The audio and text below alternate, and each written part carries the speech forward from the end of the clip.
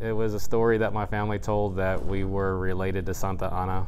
Um, and, you know, for a long time, it was just to me a story. I mean, I know a lot of people claim a lot of things uh, who they're related to in history. We there's a billion dollar industry on ancestry.com to link yourself to whoever is out there. But um, basically, the story that I was always told growing up was uh, since he, Santa Anna was so unpopular in Mexico, uh, after everything went down that uh, the family kind of tried to distance themselves from him. And so a uh, Spanish father and, a, I guess a, a mission down in Mexico, his last name was Paniagua so the name got changed uh, along the way.